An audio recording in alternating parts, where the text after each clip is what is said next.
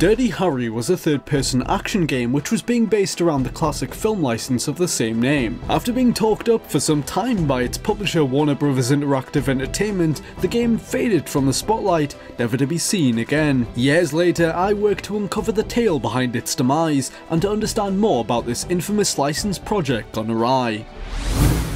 The first traces of the Dirty Harry video game date back to 2004. Warner Brothers had been seeking to propel Dirty Harry back into relevance with a strategy set to culminate in 2007. This would have kicked off with a Dirty Harry HD DVD film collection releasing that year. Whereas that product was targeting older, more seasoned fans of the series, WB would commission a video game to attract younger audiences. Around June 2004, they began inviting people to pitch for the rights and share their ideas for how to use the property in the realm of gaming. Among the participants was Argonaut Games, the developer who was once responsible for the infamous unreleased title Star Fox 2, as well as the Croc series. A couple of other studios presented proposals, but it was the Collective Inc. who ultimately locked down the contract. They were hired to produce a Dirty Harry video game for Xbox 360 and PS3. Shortly thereafter, Warner Bros. also partnered with Sensory Sweep, a studio in Salt Lake City, Utah. Both developers were veterans in the field of licensed games. While Sensory Sweep's involvement was never officially announced, their role in the Dirty Harry video game is integral to the story behind it. They essentially worked on a second version of the game for other systems. It was decided very early on that they would make their own game from scratch rather than port the collectives over. It followed the same plot, had similar gameplay, but was an alternative approach being made primarily for less powerful systems, with the exception of the PC. Sensory Sweep was set to release it on PS2, the original Xbox,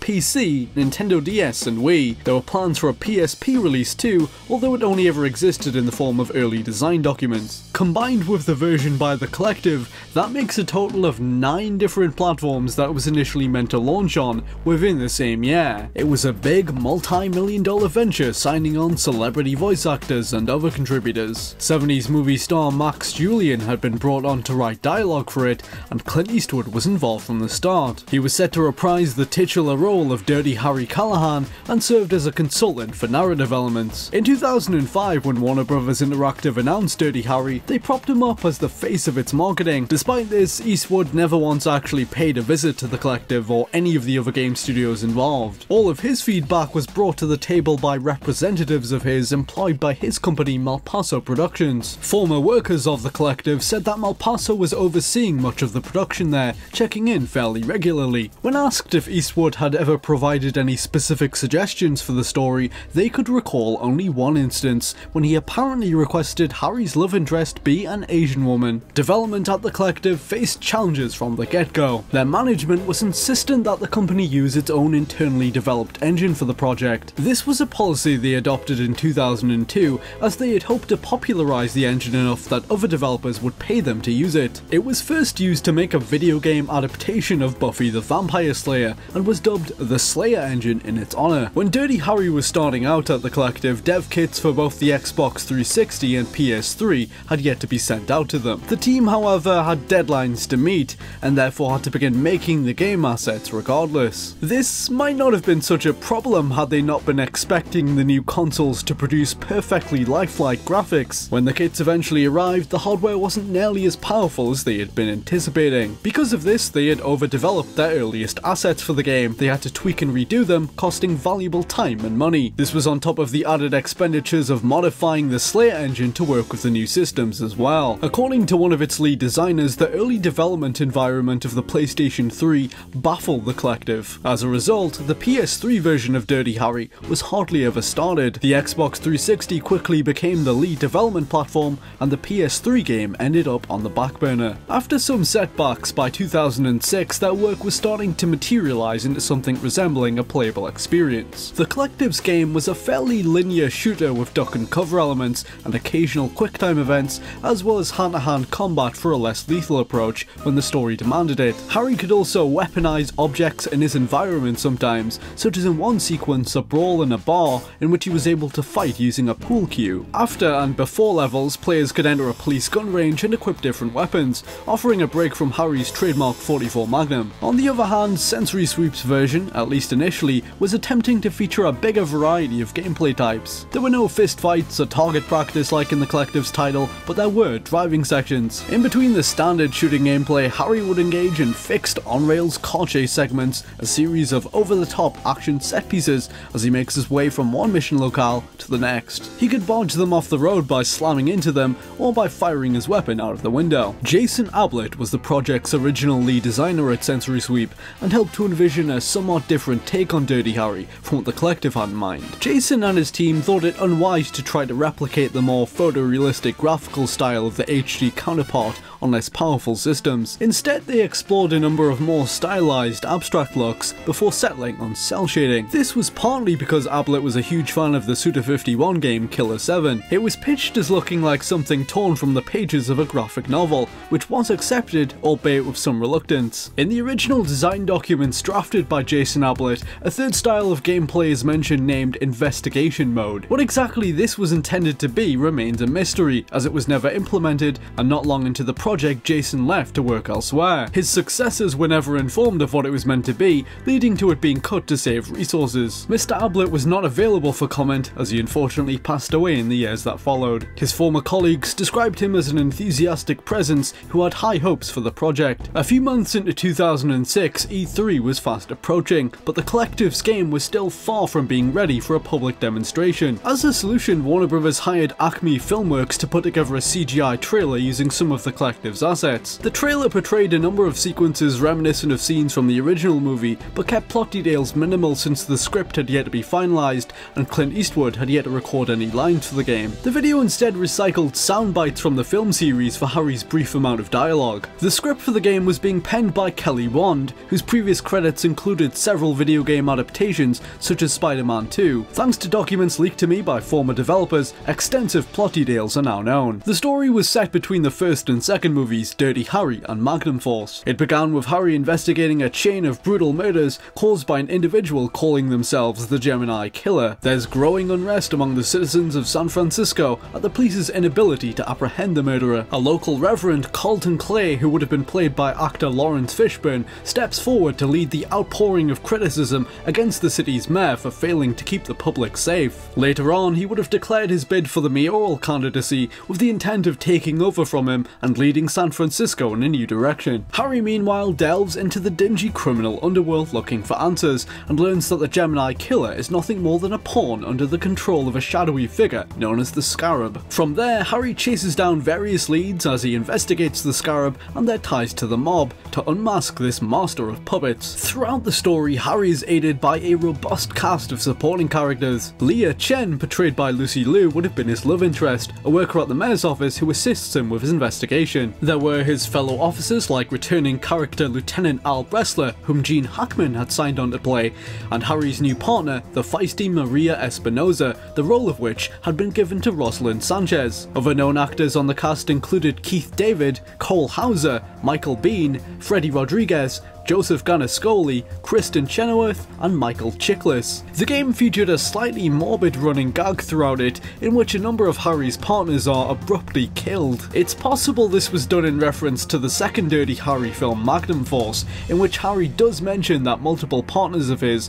have died while in his company. Approaching the third act, Harry interrogates an associate of the mob, who alludes to the possibility of the mayor himself somehow being the Scarab. Harry, alongside Maria, returns to City Hall to confront him. When they arrive, however, they find the building under siege from Reapers, the henchmen of the Scarab. The two detectives fight their way inside and find that Leah Chen has vanished. The mayor, meanwhile, has taken his political opponent Reverend Clay at gunpoint inside his church. Harry and Maria head over there and eventually discover Mayor Coletti holding a gun to Clay. As they watch on, Clay suddenly pulls out a gun and shoots him in the head before firing at Harry and Maria. Clay escapes, getting into a limo surrounded by a convoy of armed Reapers. They've also taken Leah Chen hostage. It transpires that Clay himself is the Scarab and that he's been perpetrating acts of terrorism around the city, including the Gemini killings, to weaken the mayor's foothold and gain control of the city for his own nefarious gains. A car chase ensues which would have been playable in Sensory Sweep's version of the game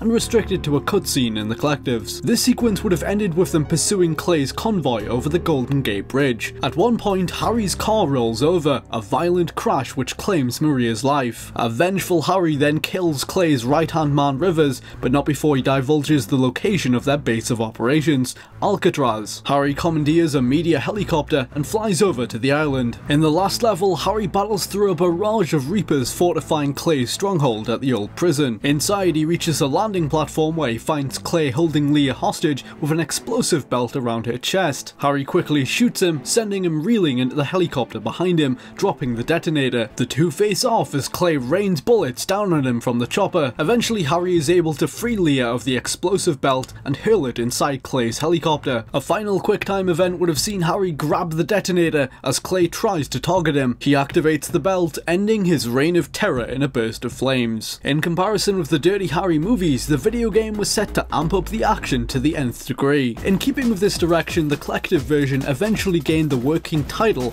of Dirty Harry Extreme. Much of this, however, was never truly realised. The collective was plagued by what some former developers describe as a creative crisis. The game struggled to break new ground. It was a straightforward cover shooter that was never able to find its unique selling point, something wholly original that would help it stand out. They strive to make playing as Harry feel grounded and realistic, a well-intentioned choice, yet one that restricted them severely with what they could do. As the project entered 2007 and many of the assets for environments and characters were falling into place, the designers had still yet to resolve this. Ex-members of the collective claim that one major issue that caused this was their lead designer apparently dismissing any and all ideas that came from outside the design team. Had they been successful in inventing interesting mechanics on their own terms, this would have been easily forgiven, but it was felt by a growing number of people within the company they had not been. The downfall of the collective's Dirty Harry came towards the start of 2007. By this point it was fairly far along. A majority of the raw assets were made and certain levels were well into prototyping,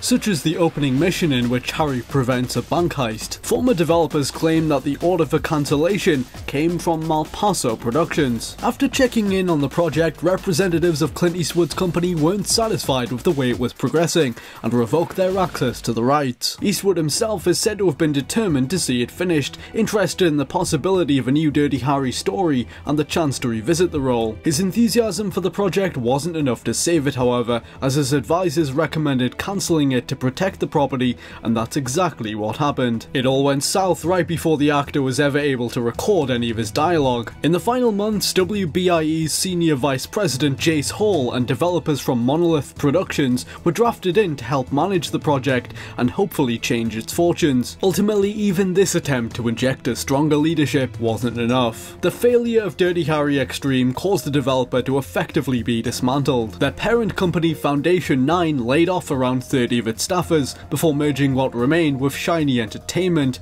forming Double Helix Games. At Sensory Sweep meanwhile, their version of the game continued development, but not for much longer. Their Dirty Harry was scheduled to be released around July 2007, less than 6 months away at this point, and it was evident that this was a deadline they would not be able to meet. This was mostly down to the fact that, from the outset, the company was not ideally equipped to develop for home consoles. Previously they had only worked with handhelds, and this meant they had to spend a lot of time building tool sets to allow them to proceed with home console development. A designer from the project revealed that no more than 10 to 15% of the game was in even a rough playable state, and that it wasn't meeting the quality standards they had set themselves. Former developers are quick to admit that the driving sections, despite being the standout feature of their version, were crudely put together. One source who was a senior staff member on the title believes that had it been released, they likely would have been dropped altogether. In early 2007, a meeting was chaired between Warner Brothers and key members of Sensory Sweep. The two reached an understanding